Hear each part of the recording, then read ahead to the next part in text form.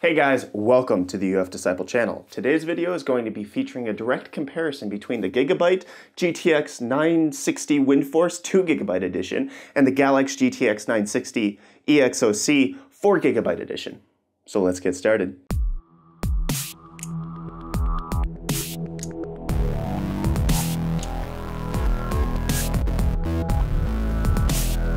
So with this comparison, the point is to do several things.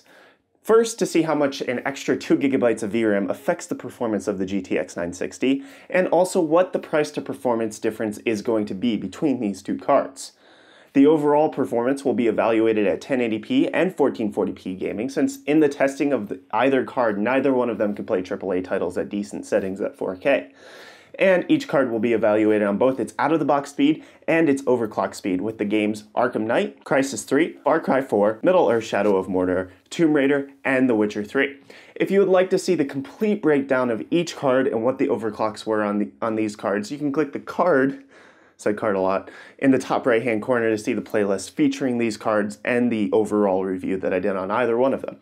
And as I go through the statistics, feel free to pause the video as you need to evaluate anything in detail. Let's start off with the card's stock performance at 1080p.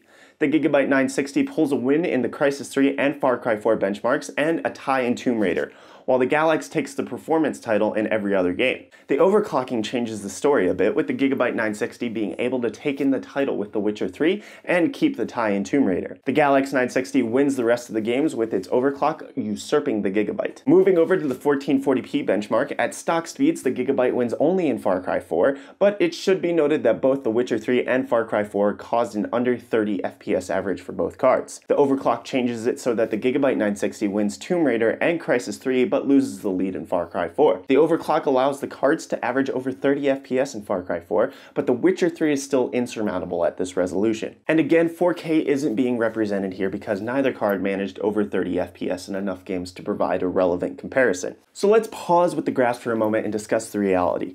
The extra 2 gigabytes of VRAM in the Galax 960 EXOC seems to be pretty inconsequential, with each card trading blows in most games. It appears that the clock speed matters much more than the extra 2 gigs of VRAM. And while those 2 gigs do help at 4K, the graphics core of the 960 just isn't capable of actually playing games at 4K. So it's actually more of a marketing scheme than anything for a 960.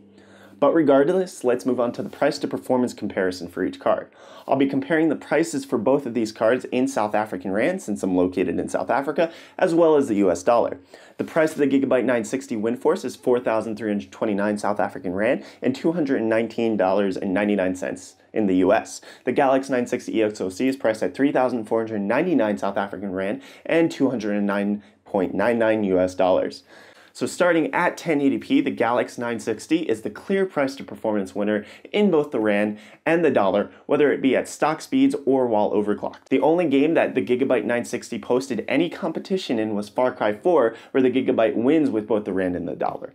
So if you're only going to be playing Far Cry 4, the Gigabyte 960 is your best value at 1080p. Moving on to 1440p value, neither of the cards completed the value benchmark with Witcher 3 because neither card managed over 30 FPS out of the box speeds, nor while overclocked. At stock speeds, the Gigabyte 960 can't play Shadow of Mordor, and neither card qualifies for the Far Cry 4 benchmark as well. Regardless, the Galax 960 is the clear winner here in value for both stock speeds and while overclock in both the South African Rand and the dollar. So what's the conclusion? Which card is better? Should I go with a 960 that has 2 gigabytes of VRAM or 4 gigabytes of VRAM? Well, if you're looking at pure frame rates, the Galax 960 EXOC is marginally better in most games, at both 1080p and 1440p, but not enough to justify that it's clearly the winner of this matchup and the delta in the value of either is most clearly defined by the price rather than the actual performance of the card. And I think that it's pretty clear that at the end of this, the 960 that you should go with is whichever one's cheaper. The 4 gigabytes of VRAM provides little advantage over the 2 gigabytes. The 960's graphics core is the limiting factor here and not the amount of VRAM.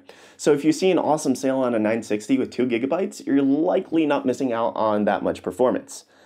And with that conclusion, I'd like to thank Wootware for helping me make this video. They helped me to supply the Galax GTX 960 EXOC featured in this video. Wootware is South Africa's leading computer hardware retailer, providing the best prices on most products, including this 960 EXOC. Their customer service goes out of their way to make sure you have a good experience, and they're constantly expanding their product line. So if you're in South Africa, head on over to wootware.co.za to woot up your life. And that's it for my head-to-head matchup of the Gigabyte GTX 960 2GB WindForce Edition graphics card and the Galax GTX 960 4GB EXOC graphics card. Like this video if you found it helpful, dislike it if it was more disappointing than the Afro Samurai 2 game which just got pulled from stores because the publisher admitted that it was a terrible failure. So dislike this video if it was worse than that game. You can subscribe to stay up to date on my hardware reviews, which include a few peripheral comparison videos that I have coming up of the Corsair and G-Skill gaming peripherals. And the G-Skill peripherals are just coming to South Africa, so stay tuned for that. You can use my Amazon affiliate code down in the video description to purchase graphics cards, and that'll give my channel a financial supplement, which helps me out a lot.